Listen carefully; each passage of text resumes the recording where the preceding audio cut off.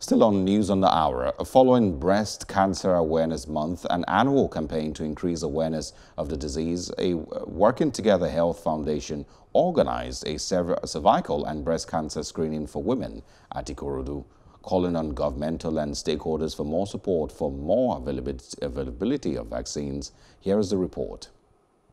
The initiative for free cervical and breast cancer screening organized for 1,000 women is aimed at controlling death rate of cervical and breast cancer, especially because of lack of interest in preventive screening. Getting them together is, is really very expensive, you know, capital intensive, because you have to give them gifts to make them come out. What I have to say to the government is to please come out and at least support this mission, you know, the NGOs that are doing, going out of their ways to get people screened and to please encourage and support the vaccine, especially for girl child. The biggest challenge what we face always is uh, we do not have enough sponsors.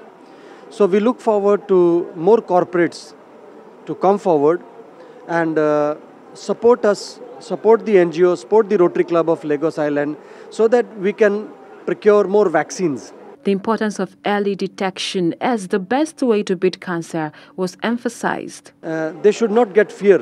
Cancer does not mean a death sentence. But some of them who are found positive, we are planning to do a cryosurgery for them so that this, after doing the cryosurgery, they can be all right. And even some of them, they can go for the chemotherapy treatment. The beneficiaries also expressed their gratitude there is a saying that, that goes that health is wealth. So if this can be done every year, it will go a long way to make us healthy Nigerians and it will help the GDP of the nation. Because a healthy person will be able will be fit to do the work that he or she is given to do.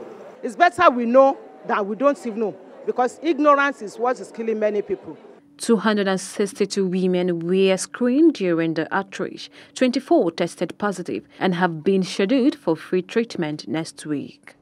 Hello, hope you enjoyed the news. Please do subscribe to our YouTube channel and don't forget to hit the notification button so you get notified about fresh news updates.